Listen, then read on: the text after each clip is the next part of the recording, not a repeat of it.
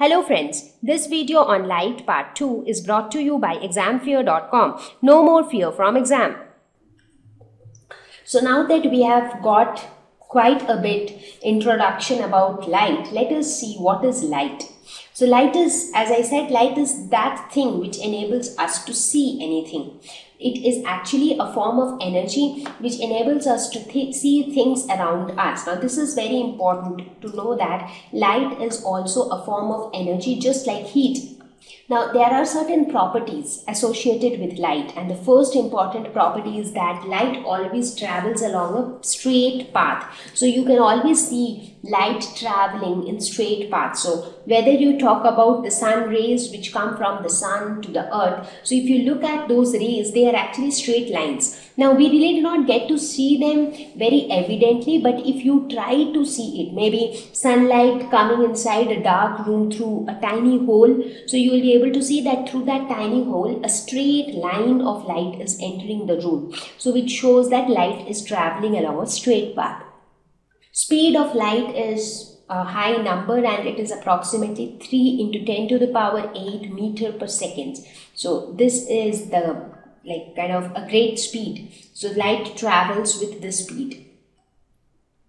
So as I said, light travels along a straight path. So what we will do is we will quickly perform a very simple experiment to see or to prove that how light travels along a straight path. So for this what you can do is maybe you can take some uh, 3 to 4 playing cards and you make holes at the center of each of them and then you arrange them in such a way that the holes are like they are all the holes are lying along a straight line so as you can see here you see all the holes are like almost in a straight line. So now you take a laser light and switch it on. Now as i've mentioned before that from a laser light you do not get a scattered light. Instead you get a well concentrated straight beam of light. So you will be able to see that the light passes through the holes on all the cardboards and finally reaches the screen. So on the screen you will be able to find some sort of image. So why could you see this image here? Because the light from the laser could reach on the screen. Now what you do is you just move one card in such a way that here the whole of the card has, is, has shifted to in the downward direction. So now in this case what happens now I said that light always travels in a straight line.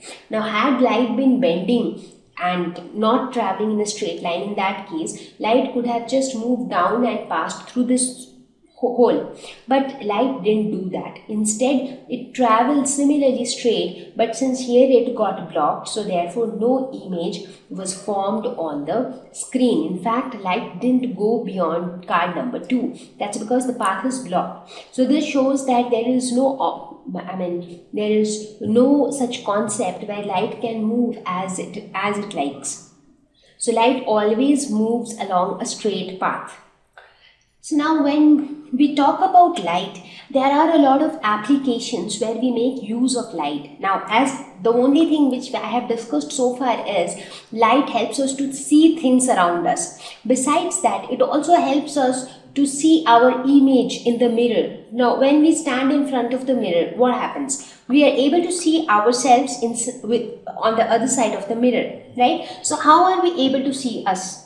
So again there also it is due to the property of light. The spectacles which we use. Now sometimes you would have seen your grandparents or even your parents who have difficulty in seeing things. Maybe either uh, they have problem in seeing the distant objects clearly or in seeing objects which are close by clearly. So what do these people do? They wear a spectacles. So the spectacles have a lens which helps to correct their vision. So how the lens works. So again there also it is due to property of light. You think you talk about the rear view mirror in your inside your car. Uh, how again there also the image is being seen due to a property of light. You talk about telescopes, microscope, the camera lenses. So all of them make use of various properties of light like reflection, refraction and so on. Now, you would have observed such magical phenomena like when you put a pencil inside water, the pencil appears to be bent, but you know that the pencil is straight. So, how that happens? So, in each of these observations, in fact the formation of rainbow the rainbow looks so beautiful and it is generally seen on a rainy day after the rains or before the rains so how is a rainbow formed again light has a very important role to play in the formation of rainbow. So each of these examples or each of these instances which we which i am talking about on, in this slide they are all due to one or the other property of light. So here in this lesson we are going to talk about a few basic properties of light and we will see that how that helps us to see our image in the mirror or how it helps in the rainbow formation or how it works in the lenses of uh, spectacles or the rear view mirrors in the cars. So these are some of the things which we will cover in this lesson. Now, before we go ahead with the properties of light, let us first talk about a ray of light because ray of light is a term which we will be using very often hereafter.